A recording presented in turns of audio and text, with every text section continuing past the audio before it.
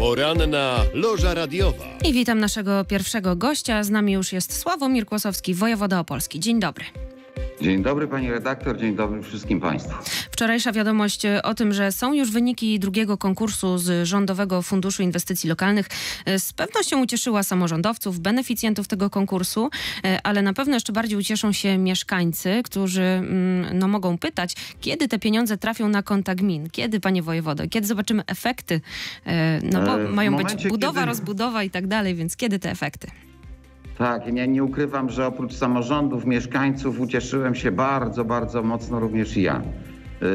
To są pieniądze bardzo, bardzo oczekiwane. To są pieniądze wnioskowane y, do mm, rządu mm, celem rozbudowy, przebudowy infrastruktury samorządowej, której no, jeszcze na tym etapie y, w samorządach trochę brakuje. Dlatego tak bardzo mnie ucieszyło to, że aż 34,5 miliona w tej edycji yy, w procedurze konkursowej trafi do województwa opolskiego.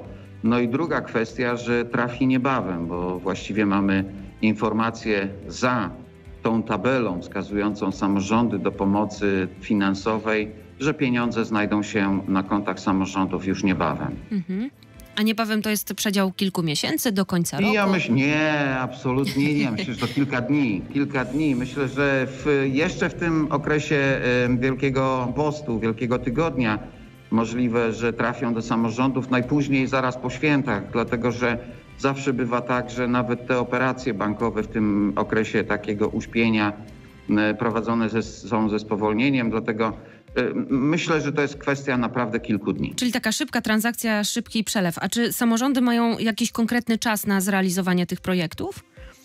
No, będziemy zabiegali, zabiegaliśmy zresztą w procedurze konkursowej. Samorządy deklarowały odpowiedni czas wykonania tych projektów, dlatego że powiem nieskromnie, kolejne pieniądze czekają w kolejnych edycjach tego programu mm, Funduszu Inwestycji Lokalnej. Także im szybciej samorządy spożytkują te środki w ramach tych 34,5 miliona, będą mogły wystąpić o kolejne środki. Liczę na to, że ten e, rok 2022 to będzie taki rok, w którym te inwestycje będą powoli dopinane, kończone, bo pora zwracać się o następne środki.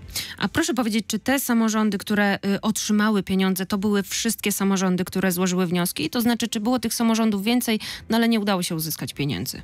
Tych samorządów było zdecydowanie więcej. No, w skali kraju, z tego co pamiętam, było to blisko 3000 wniosków złożonych e, do prezesa Rady Ministrów. Z województwa opolskiego również zdecydowanie e, więcej tych samorządów aplikowało te środki.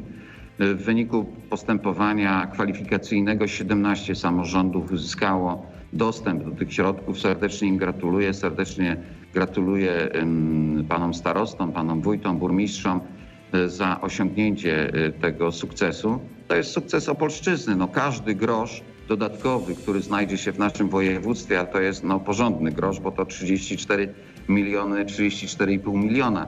To jest ubogacenie naszego województwa, zwłaszcza infrastruktury naszego województwa. I te pieniądze za chwilę będzie widać, choćby na ulicach, bo wiele z tych środków przeznaczone są, przeznaczonych jest na rozbudowę kanalizacji, przebudowę ulic, przebudowę dróg, obiektów użyteczności publicznej. Jest na przykład przebudowa rynku w jednym z projektów. No wiele, wiele takich projektów, które będą upiększały i ułatwiały życie mieszkańcom naszego województwa, z czego bardzo się cieszę. No to jest też tak, że, y, bo ja przejrzałam sobie tę tabelkę, większość y, samorządów otrzymała tyle pieniędzy, o ile y, wnioskowała, ale na przykład gmina Boborów wnioskowała o 4 miliony 150 tysięcy, otrzymała 2 miliony, więc jeszcze będzie musiała jakichś funduszy poszukać.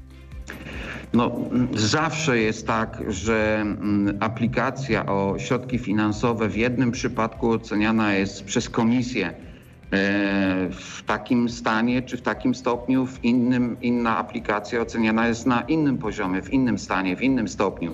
Dlatego trzeba się liczyć z tym, że mm, te mm, projekty, które nie znalazły w pełni uznania komisji konkursowej, będą musiały niejako być projektami składającymi się z tak zwanej inżynierii finansowej. Część środków, ona bardzo często bywa tak, że jest to zdecydowana większość tych środków to środki rządowe, natomiast pewne środki również zabezpieczać musi tutaj, czy mm, zresztą tak jest w aplikacji y, samorząd terytorialny. Ja powiem Państwu, że nieraz jest y, to korzystne z takiego punktu widzenia, że te środki, y, które nawet w drobnym procencie są z udziałem samorządu terytorialnego, są później inaczej doceniane w samorządzie terytorialnym.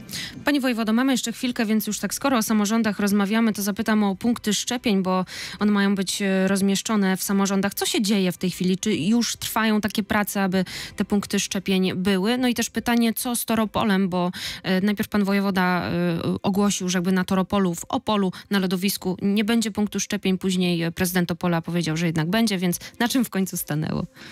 Dzieje się dużo w zakresie szczepień i dzieje się dużo dobrego. To Mhm. jest, cieszy moje serce, dlatego że akcja szczepienna od 19 kwietnia ruszy naprawdę z ogromnym rozpędem. Będziemy wyszczepiać na Opolszczyźnie dziennie kilkadziesiąt tysięcy mieszkańców naszego województwa. Te, ten punkt szczepień, choćby tutaj na Toropolu, będzie wyszczepiał, czy będzie gotowy do wyszczepienia e, około 2000 ludzi dziennie. W związku z tym to są mm, ilości, których do tej, pory nie wyszczepialiśmy w województwie opolskim. Liczymy, że jako najmniejsze województwo sprawność tutaj tego wyszczepiania będzie y, sprawnością opolską, tak bym to określił. Chciałbym, żeby tak było, żebyśmy się wysforowali na czoło tego, mm, tej stawki województw szczepiących. I wszystko wskazuje na to, że tak będzie, dlatego że po początkowych nieporozumieniach y, dotyczących Toropolu, em, rozmawiałem z panem prezydentem Wiśniewskim, tam były pewne, pewne kłopoty, pewne reperkusje, ale pan prezydent y, Wiśniewski, któremu za pośrednictwem państwa bardzo serdecznie dziękuję za zdecydowane tutaj ruchy i decyzje, zapewnił mnie, że Toropol będzie przygotowany, będzie gotowy do akcji szczepiennej. Rozmawiałem nawet w tej sprawie z komendantem wojewódzkim policji, z y, dowódcą 10 Brygady Logistycznej o zabezpieczeniu tego punktu szczepień, tak żeby porządek tam panował i w, od, od momentu parkowania samochodu do konkretnej akcji szczepień. Także on w Opolu będzie funkcjonował. Zapewniam Państwa, że po tym porozumieniu z panem prezydentem mamy odpowiedź jednoznaczną. W Opolu będzie masowy punkt szczepień właśnie na Toropolu. A w Poza całym tym- województwie ile takich punktów całym, będzie? a w całym województwie mamy w tej chwili bardzo, bardzo duży odzew y, samorządów, które chciałyby takie punkty urządzać. My na razie poprosiliśmy starostów, ażeby do piątku, czyli do y, dnia jutrzejszego, zgłosiły nam w każdym mieście powiatowym po jednym takim dużym, masowym punkcie szczepień. Czekamy na te odpowiedzi, liczymy na to, że one będą mm, pozytywne, bo mam to po telekonferencji mogę Państwu z przyjemnością zakomunikować, że odzew był bardzo pozytywny. W tej chwili tylko i wyłącznie czekamy na konkretne lokalizacje.